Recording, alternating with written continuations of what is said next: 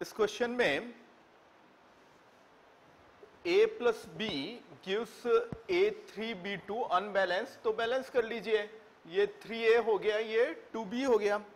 फिर consecutive reaction है sequential reaction है है ना? तो इसके बाद कौन सी रिएक्शन हो रही है? A three B two plus C gives A three B two C two तो बैलेंस कर लीजिए। अब शुरू में कह रहे हैं कि थ्री मोल है।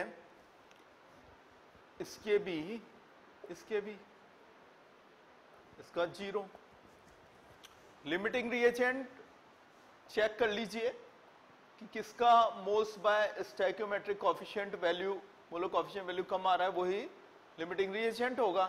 तो थ्री बाय टू इसका थ्री बाय थ्री तो इसका तो 1.5 आ रहा है, ये वैल्यू इसका वन आ रहा है तो ये लिमिटिंग रिएजेंट हो गया तो ये एक्सेस रिएजेंट हो गया तो ये कंट्रोलिंग डेटा हो गया तो रिएक्शन को आगे बढ़ाएगा और इस प्रोपोर्शन में आगे बढ़ाएगा।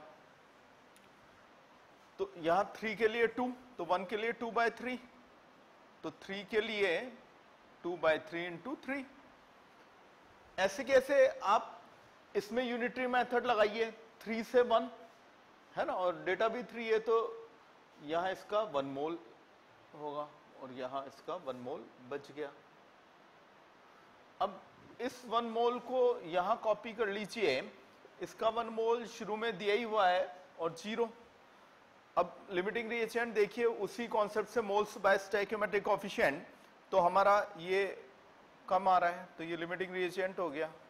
तो ये अब कंट्रोलिंग डेटा हो जाएगा। और इस प्रोपोर्शन को फॉलो करते हुए हम आगे प्रोड्रेस बनाएँगे।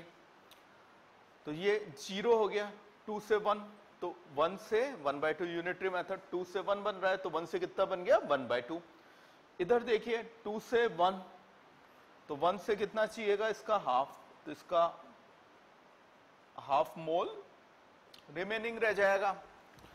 अब ऑप्शंस को देख लीजिए। One mole of A three B two C two is formed half mole हो रहा है। वो जो है, वो बी में दिया है। Half mole of A three B two is formed half mole of A three B two is left finally तो B and D are the correct options